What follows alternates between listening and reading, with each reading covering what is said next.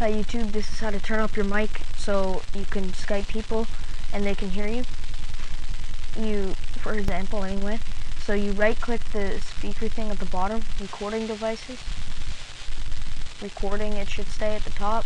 Microphone, double click microphone. Click levels.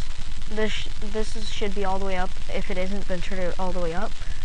And this should be all the way down.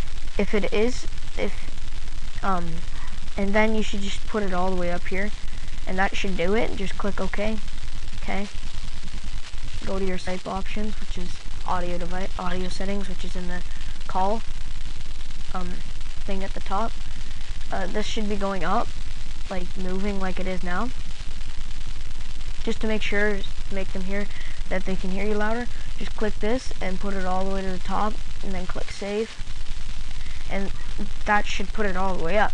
I've seen other videos and it doesn't work. I, this is just what worked for me.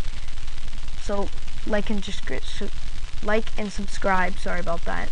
Um, and bye YouTube.